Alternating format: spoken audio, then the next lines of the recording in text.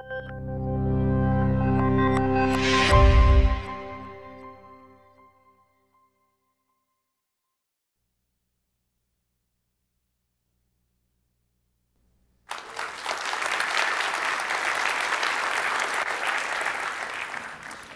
Well, hello, ladies and gentlemen, and thank you very much uh, for uh, coming to see me today. This is a speedy, cut down version of a much longer presentation and a great verbosity of research from the last six months of my life. So, a bit of a whirlwind tour, and with that, we'll kick straight into touch. For those of you that haven't run into me before, I do have a standard introductory slide. I always use it uh, to describe my career so far. I do find it to be a pretty accurate depiction uh, of, of, my existence, uh, although recently I have been the subject of several less desirable memes. Uh, this one from Steven Sims, I think, is probably one of the worst ones. Regardless, what you might pick up from this is that essentially I am a massive geek. I spend the majority of my time ripping apart interesting malicious code, looking at what the cyber criminals are up to, and trying to make predictions about where we're going to go next. Now, I've done lots and lots of technical presentations over the last year, but today I want to focus on some higher level trends, some challenges that I think exist in our industry. Now, a little while ago, I was having dinner with someone, and I remember this conversation where they were really, really frustrated by how their users never listened to them. I, I could see a few of you kind of nodding already. And I remember making this, this particular remark stating actually, I think our users, the people that depend on us for advice, actually cling on to ideas long after they're still good ideas. You walk up to a random person in the street and you ask them about what constitutes a good password, and they don't go blank. They reel off exactly what you would have said six or seven years ago. We have to pry these old ideas from their cold, dead hands. Following on, I remember this was during a particularly delicious club sandwich. It's one of the bizarre things I remember about that situation. I think during dessert, I mentioned that actually the same things can be true of us in the security industry.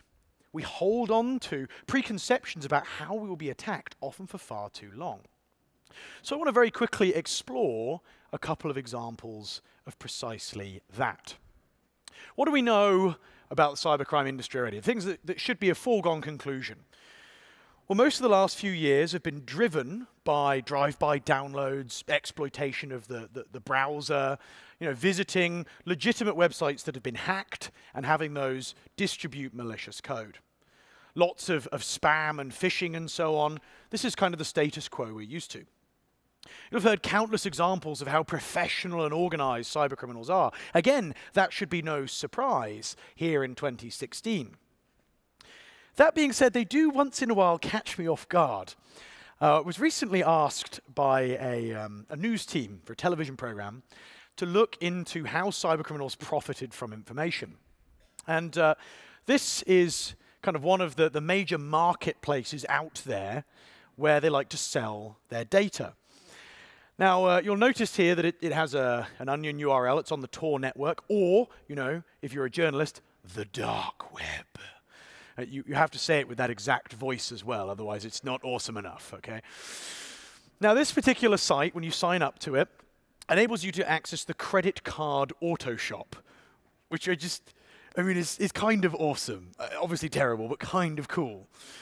What you see here is a list of different credit cards for sale, listed by different geographies, where you can select any number of these and purchase them. What's interesting is these guys automatically remove credit cards after a fixed period of time, or they reduce the price down as more cybercriminals and fraudsters buy them because there's a reduced probability of success. You know, they, they really kind of care about the quality of their product, the, the stolen data. Um, now, credit cards are an obvious way that they, they profit. We know that. What really amazed me was how you could kind of switch over in here to a view where you could buy access to, to email accounts. You could buy RDP credentials, where the pricing was set based on the level of privilege. Although the biggest surprise to me was that there are AOL accounts in here, and I was pretty sure they weren't a company anymore. Uh, I remember, you know, being a kid and getting AOL CDs and using them to build kind of weird houses, and there's always so many of them. Anyway, so uh, these are the kind of channels that we have for um, cybercriminals distributing uh, their various wares. So let's talk a little bit about user expectations and how people are getting compromised today. Some of the different things that cybercriminals are doing. If you walk up to pretty much any user and ask them what a phishing scam looks like or a spam, they'll give you the kind of canonical, contrived stereotype examples. Uh, this one here on the, on the right uh, is one that I received just, just two days ago. I'm sure you'll recognize the sorts, if not the specific example. Uh, I do love this other one. Uh, it's been a favorite of mine for a while. Um, it, it opens up with, if you are a time traveler or alien disguised as human, and or have the technology to travel physically through time, I need your help. I think we can all agree that's a strong opener to a scam, isn't it? Down at the bottom, I also love the, please do not reply if you're an evil alien. I love that there are people that actually fall victim to, the, to these kinds of scams. There is a certain category of just can't be helped. Nonetheless, I did a talk last year where I talked about how the anti-exploit mitigations in our technologies were getting much, much better. The ecosystem in traditional computers to avoid exploitation was much stronger and predicted and saw the beginning of an uptick of more social engineering. That is in full effect. So many more scams where the telltale signs, the bad grammar and spelling, the dodgy links, the weird pictures, actually aren't in place. So many more examples where I have to admit, after a cheeky shot of tequila, maybe I could fall victim to them, let alone the average person on the street. So we set out for an interesting little experiment. Uh, we used this tool uh, that we created last year, the Simple Social Engineering Tracker, sent out kind of nice copies of, uh, of, various common scams without these mistakes, and a collection that was stereotypically bad. Let me just really quickly step you through a few numbers. Out of a couple of thousand people uh, over an extended three-month period, how many we snared? The tax refund, eight people It was a disappointing start. Luckily followed in quick succession by Here is my resume. 217 people with the correct version, 194, not that far behind, with the dodgy links and bad spelling. Amazon package, 116 people for something that looked quite convincing, seven for something where we tried really hard to make it very bad. Payment advice, obviously a popular one.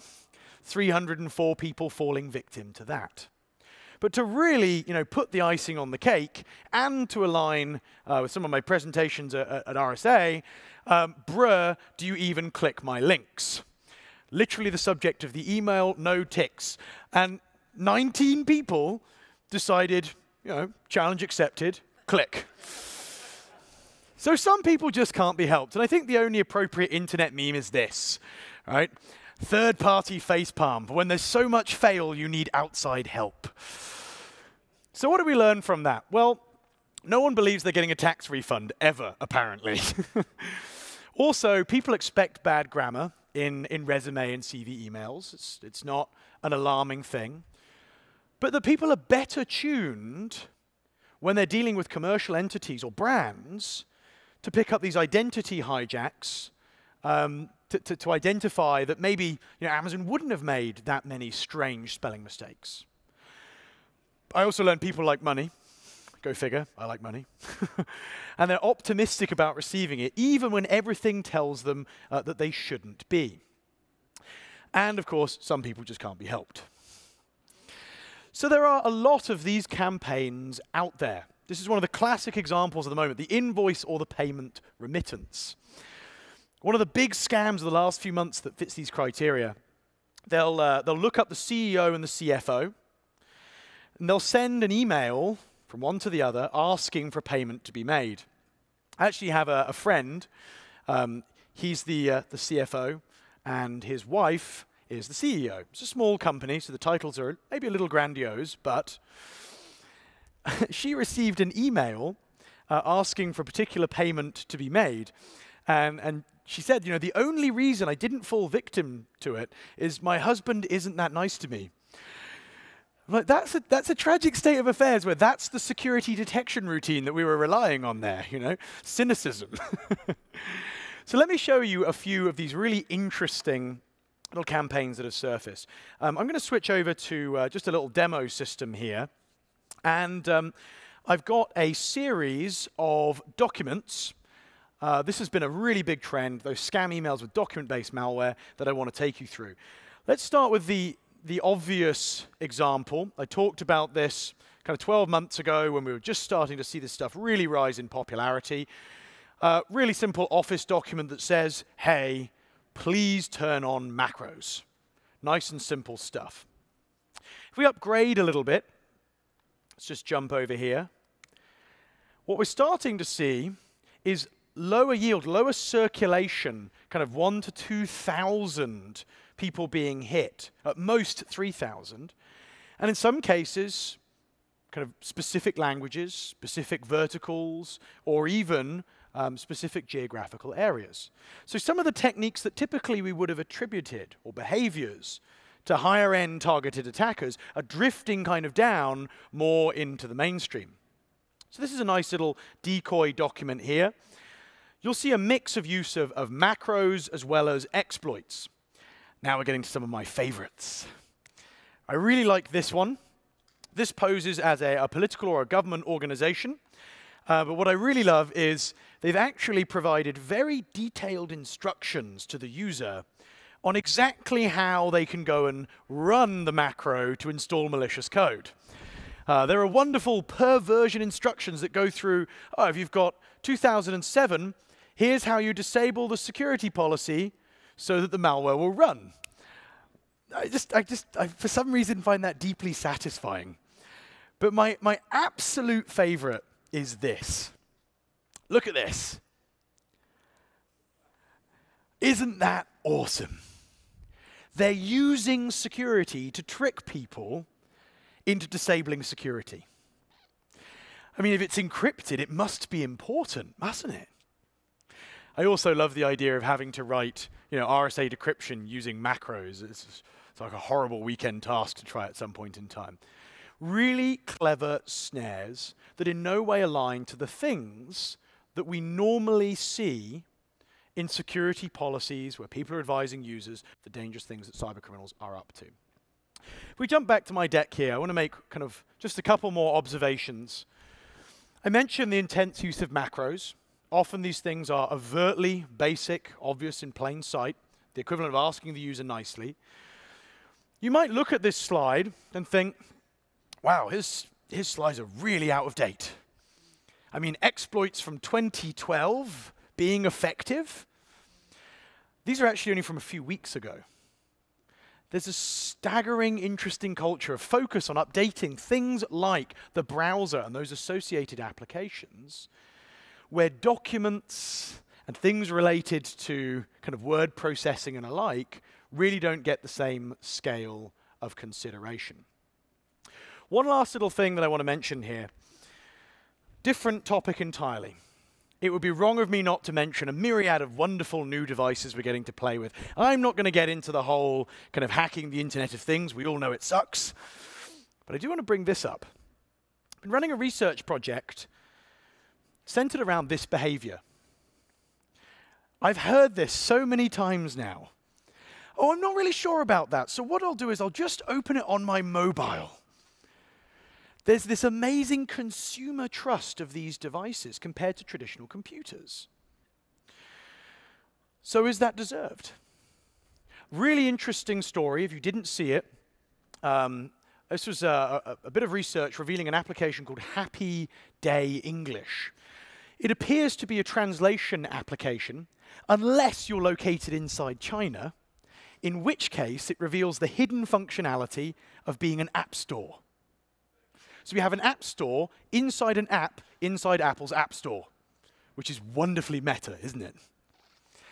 This app allows you to install non-Apple authorized, pirated, free versions of applications on non-jailbroken devices, which is pretty impressive. Now, I'm not saying go running around screaming, thinking, I must burn my iPhone, it's, it's horrible. It, it's actually, in the grand scheme of devices, certainly far less afflicted by malware. But that shows a gap between the average expectation of users in terms of trust and maybe the checks and balances that really exist. We took the top 1,002 applications, mostly gearing towards, uh, towards Android, mostly in app stores, uh, a few in-house applications, 1,002 because it was more awesome than 1,000. Did some basic analysis and found 306 of them were using TLS and failing to do things like certificate pinning. They were failing at the very basics of transport security. And if you can't get that right in 2016, what else is awry? We found examples of people sending their Twitter API keys out to every user unobfuscated. You could literally copy and paste these and read their direct messages, start posting as them, do whatever you want. Plain text credentials, use of MD5 unsalted, you name it. The point is, and we'll follow up with a more detailed technical report in the next couple of weeks on this topic, consumer trust of these devices is extremely high, but even some rudimentary and quick research shows that maybe that trust is built on a far more fragile infrastructure than any of us in this room would assume. That's all I can cover in 15 minutes. Food for thought. I hope a few useful things that you can do. And if you don't need macros, consider disabling them in your organization as they are a particular high point of effectiveness right now. I hope you enjoyed it. Enjoy the rest of RSA. Thank you very much, ladies and gentlemen.